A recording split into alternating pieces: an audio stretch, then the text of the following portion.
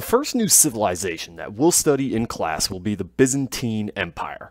However, it's virtually impossible to understand the Byzantines without first understanding their predecessors, the Romans. In this video, I'm going to do my best to give you a 5 minute crash course on Roman history.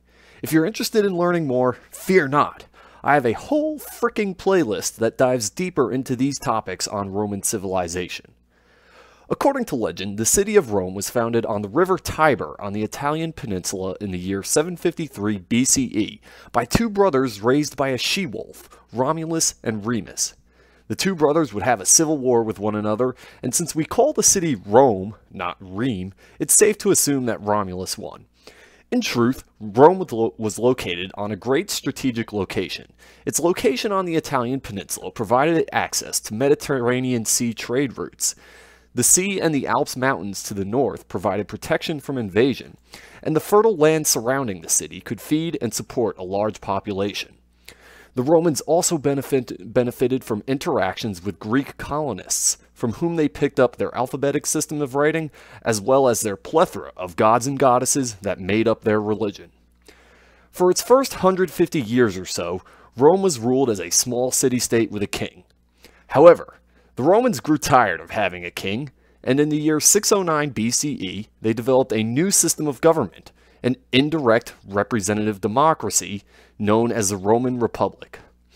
This system of government featured elected leaders and a separation of powers among multiple branches of government, including the assemblies, the Senate, and the consuls. Sound familiar? While Roman civilization did not expand much beyond the Italian peninsula for its first 500-ish years, things changed when they began to butt heads in trade disputes with their neighboring African city-state, Carthage. Following three wars over the span of 80 years, including a 17-year stretch where Hannibal Barca and his army of elephants conquered the Italian peninsula, Rome finally vanquished Carthage in the Punic Wars. This left Rome as the sole superpower of the Mediterranean world, and enabled them to expand and conquer the entire Mediterranean basin, including the lands of Africa, Asia, and the Hellenistic empires of Europe over the next few hundred years.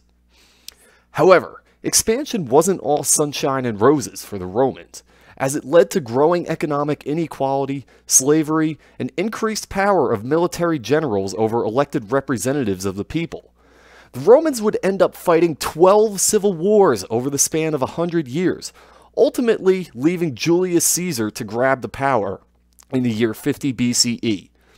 After Caesar was named first citizen and dictator for life in 44 BCE, the Roman Senate had him assassinated by stabbing him 23 times on the Senate floor because, you know, kings are bad. In the power vacuum that ensued, Caesar's grandnephew and, and adopted son Octavian would seize power and rule as the first emperor of Rome, being renamed Augustus. The Romans would do away with their representative democracy in favor of an imperial monarchy, and it wouldn't show up again in history for another 1800 years until the US of freaking A decided to give it a try. While switching to an imperial monarchy might sound like, an, like a terrible idea, things actually weren't so bad under the Roman Empire for the first 200 years or so. Cities like Rome, Alexandria, Corinth, Paris, and Bonn thrived as centers of art, architecture, and literacy. An excellent system of roads and uniform currency ensured a safe and steady flow of trade and prosperity throughout the empire, and a competent civil service and uniform rule of law helped ensure political stability, even in the spite of a few crazy emperors, some of whom would go on to name their own horse as consul. The Romans also thrived in the realm of architecture, building well-known massive structures such as the Colosseum and the Pantheon, as well as important technological innovations like their extensive road system or the aqueducts that could carry water to a city from a mountain over 50 miles away. It was also around this time in history that Christianity began to emerge. Originating in the land of Judea, it followed the teachings of Jesus of Nazareth, who preached monotheism, the Ten Commandments, and an emphasis on charity. Christianity would spend its first 200 years, years or so as a niche religion in the Roman Empire. But in the year 313 CE, the Emperor Constantine would change that, issuing the Edict of Milan, and it would eventually become the official religion of the Roman Empire. Constantine made one other huge change during his time as emperor. He moved the capital from Rome to the new city of Byzantium. A few more decades of internal conflict later, and the Roman Empire would split in half. The Latin speaking Western Roman Empire, with its capital in Rome, and the Greek speaking Eastern Roman Empire, with its capital in Byzantium, which was then renamed Constantinople.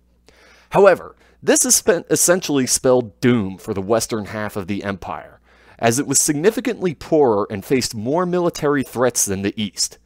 By the year 476, following many invasions from outside forces, the Western Empire collapsed, leaving behind a fractured land of Germanic kingdoms.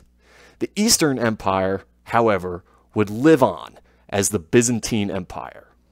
Whew, looks like I got that in six minutes. Thank you guys.